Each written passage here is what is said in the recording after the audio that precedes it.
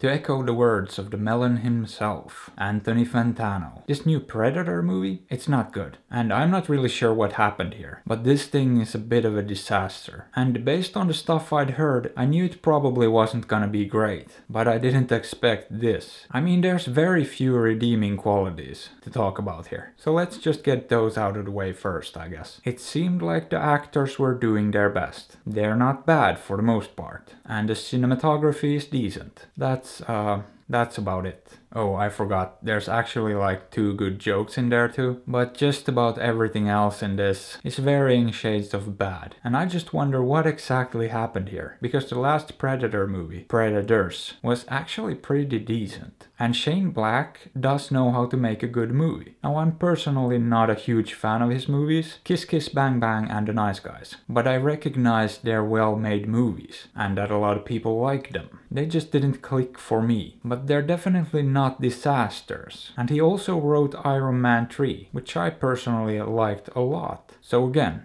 the man knows how to write and direct, so why is this a complete mess? I mean, I got a feeling he was going for sort of good bad, but just ended up with bad bad. Either that or he intentionally sabotaged it, for reasons I'm not aware of. But either way, I can't just blame him either. I mean, he wrote this mess, so a lot of it is on him. Yeah, actually, I guess most of it is on him. But even things like the special effects are super shaky. I mean, a lot of the CGI looks terrible in this. And it's actually a fairly gory movie, but it all just looks completely fake. And there's some awful, very obvious green screen action too. And the score just sounded so dated and uninspired too. This thing needed something a lot more modern and impactful. Not that that would have saved it, because yeah, the biggest issue by far is the writing. It's just terrible. I mean, the story is stupid, sure. They try to cram in some lore and backstory, and very little of it make any sense. And the way they got the kid involved in the story is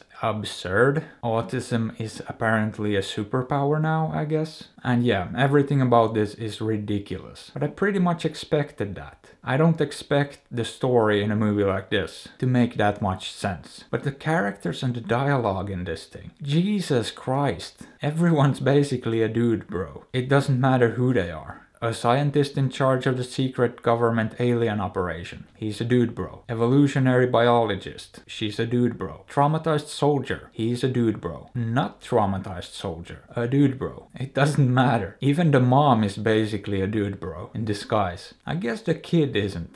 Eh, even he shows some signs of dude broiness here and there. Oh, and most of them are incompetent idiots too. The least incompetent probably being Olivia Munn's character. She even had a line that showed some sign of not being completely idiotic. But then of course the next line just fucked that right up. And hey, turns out that the idiotic part is a key component to the plot. Oh, I almost forgot about the shoehorned environmental message too. That was a real treat. Apparently the planet's gonna be uninhabitable in a generation or two. Yeah, I don't think even the most radical climate scientist would agree with that. And I didn't even mention what passes as comedy in this thing. Your mom jokes, Tourette's, and diarrhea bits that literally come out of nowhere. And children blowing up random people for very little reason. Of course they did also take the time to set up a sequel too, which is one of the few jokes in there that actually worked. So this whole thing is a genuine disaster on pretty much every level. But what baffles me the most about this movie is that no one stepped in and said, excuse me, what are you doing? I mean, we live in a world where directors and writers get fired and replaced left and right,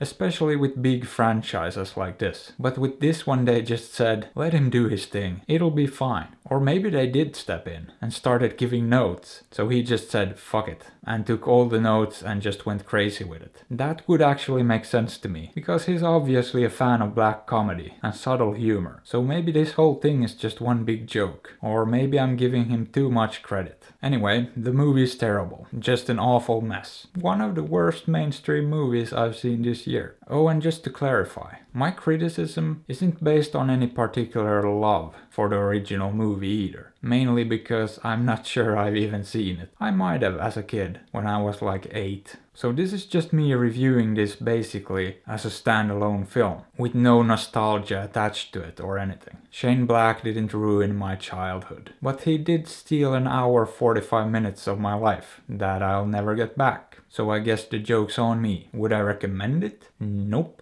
I mean, it's not even good bad, it's just bad. So skip this one, or don't. I'm not your dad.